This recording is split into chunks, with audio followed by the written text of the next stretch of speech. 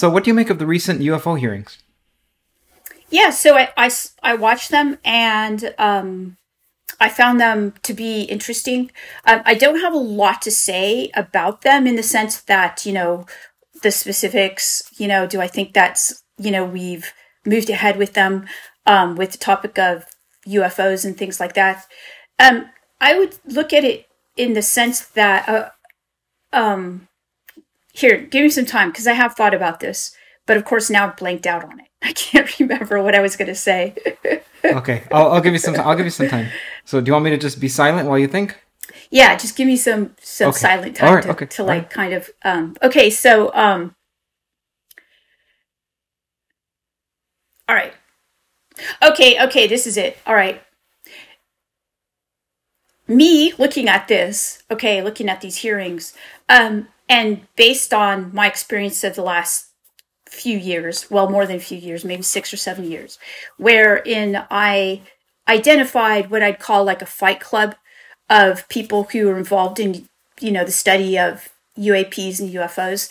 Um, and what I mean by fight club is I mean that these people are compartmentalized and they don't talk to one another. Um, I can't see how a hearing, a congressional hearing, is going to pierce any of the information within that fight club. I think what's happening is that there's a recognition that there is this this group of people who do this kind of study. They probably, you know, there are probably different factions. In fact, there are different factions and groups of them doing pretty high level study of this stuff, but they're not talking to each other. Okay?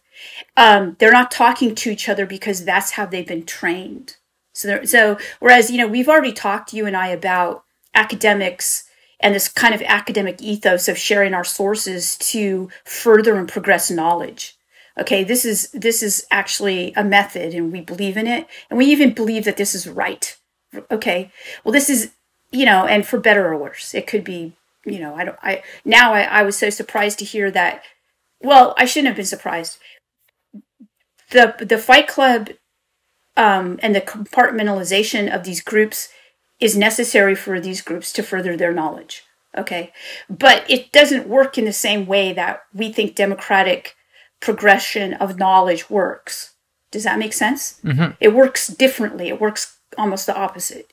So when I see the hearings, I hear that it's a very it's I, I think I posted something on Twitter where I said this isn't the valet level of talking about the topic, right? It's not going to get that way. It won't get that way maybe ever. Okay. We can't expect it to. So for what it was, um, it was, it was okay. You know, for what it was, it was okay. It was something that recognizes at least and, and modifies the stigma that's been attached to UFOs for the past 50 years. Okay. And that's a good thing. That's good for me because I wrote about it. and it's good for other academics who want to go in and, and study it. It's good for people who've seen UFOs and have felt like they couldn't tell anyone about it. So it's good in that way, okay?